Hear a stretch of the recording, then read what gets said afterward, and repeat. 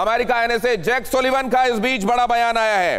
Jack Sullivan क्या कह रहे हैं? प्रेसिडेंट बाइडेन, प्रधानमंत्री मोदी से मिलने के लिए उत्सुक हैं। जी ट्वेंटी मीटिंग में पीएम मोदी से मिलना चाहते हैं बाइडेन। 15 और 16 नवंबर को बाली में है जी ट्वेंटी सम्मेलन।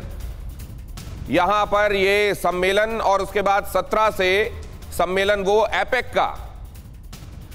एशिया पैसिफिक इकोनॉमिक कोऑपरेशन, उसके पहले आसियान, इधर जो बाइडेन का यह कहना कि मैं बहुत उत्सुकता से प्रतीक्षा कर रहा हूँ प्रधानमंत्री नरेंद्र मोदी से मुलाकात की। ऋषि सुनक और मैक्रो से भी मिलने वाले हैं PM Modi. G twenty summit में दोनों से मोदी की द्विपक्षीय मुलाकात। अब ये मुलाकातें दो दिन बाद बाली में शुरू हो रहा है जी ट्वेंटी सम्मेलन। ऋषि सुनक और मैक्रो से भी मिलने वाले हैं प्रधानमंत्री नरेंद्र मोदी। और ऋषि सुनक के पीएम बनने के बाद उनकी आपस में ये पहली मुलाकात होगी। टेलीफोनिक कन्वर्जेशन हुआ कॉन्वर्जेशन हुआ था, जिसमें प्रधानमंत्री नरेंद्र मोदी ने उन्हें पीएम बनने पर बधाई दी थी।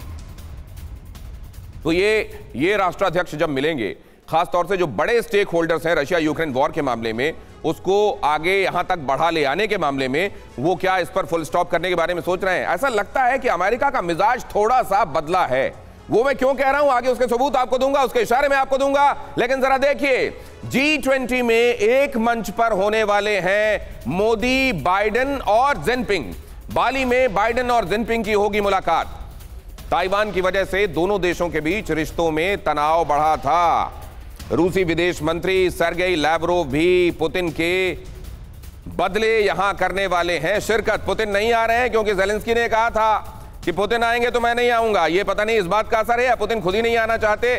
जेलेंस्की यहाँ पहुँचने वाले लेकिन यहाँ पर देखिए साथ में सरगेई लैवरोव होंगे जो बाइडेन होंगे भारत की तरफ़ से प्रधानमंत्री नरेंद्र मोदी होंगे उधर ऋषि सुनक होंगे।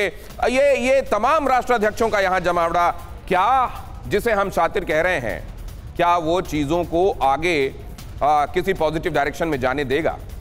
या क्योंकि अभी जिसका ज़िक्र किया जा रहा था अगर हथियारों का बाज़ार फ़ायदे में है तो शातिर को ये सब ये सब माफिक आता है। और अगर माफिक आता है तो इस पर फुल स्टॉप होने क्यों देगा?